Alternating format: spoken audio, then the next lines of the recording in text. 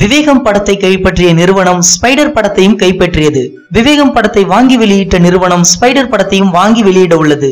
இயக்குனர் ஏ ஆர் முருகதாஸ் இயக்கத்தில் Telugu super star Mahesh Babu முதன் முறையாக தமிழில் நடித்த படம் ஸ்பைடர். இந்த படம் தமிழ் தெலுங்கு என இரு மொழிகளில் நேரடியாக வெளியாக உள்ளது. படத்தில் மகேஷ் பாபுவுக்கு ஜோடியாக ராகுல் பிரீத்தி சிங் நடித்திருக்கிறார். தற்போது ஸ்பைடர் படத்திற்கு மிகப்பெரிய எதிர்பார்ப்பு ஏற்பட்டுள்ளது. இந்த படத்தின் ட்ரெய்லர் வெளியாகி ரசிகர்களிடம் நல்ல வரவேற்பு பெற்று வருகிறது.